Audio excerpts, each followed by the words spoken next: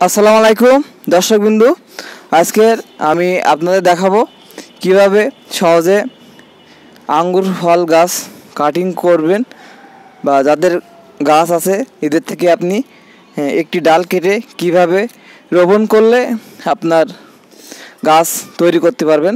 দর্শকবিন্দু আঙ্গুর ফল গাছ কিন্তু ডালের থেকে গাছ তৈরি হয় খুব সহজে। এই দেখেন একটি গাছ, এইভাবে আপনি কারোর কাছ থেকে এইভাবে একটি ডাল কেটে নিয়ে আসবেন গাছের থেকে। এই যে এটা আঙুল ফল গাছের ডাল। দর্শক বন্ধু, একটু পরে দেখাবো কীভাবে আপনারা কাটিং করে রোপণ করবেন।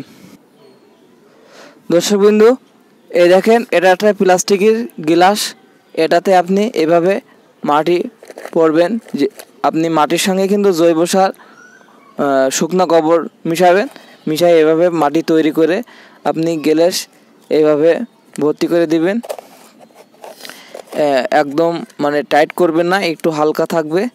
এভাবে আপনি দেখেন ঠিক এইভাবে আপনি গ্যাস একটু আপনার হাফ ইঞ্চি আপনার একটু জায়গা খালি রাখবেন। আহ, দর্শক বন্ধু আমি যে ডালটি কাট কাটছিলাম এই দেখেন এটা আছে আঙ্গুর ফলের গাছের ডাল।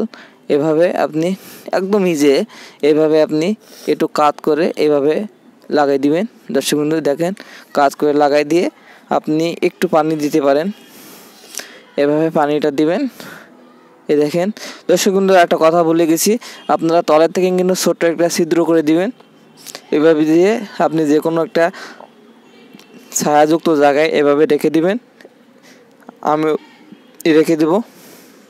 পরবর্তী বিশ দিন পরে দেখবেন শিকড় বের হয়ে গেছে বা পাতা বের হয়ে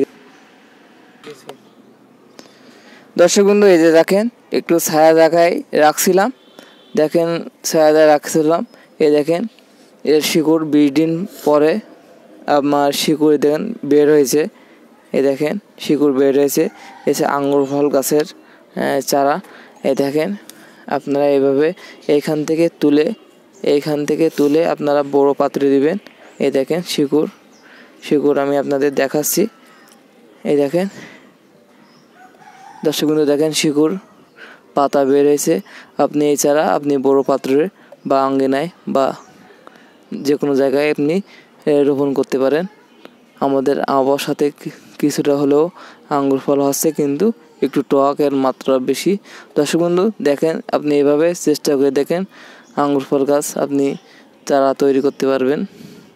দর্শক বন্ধু, সবাইকে দেখার অনুরোধ। আসসালামু আলাইকুম।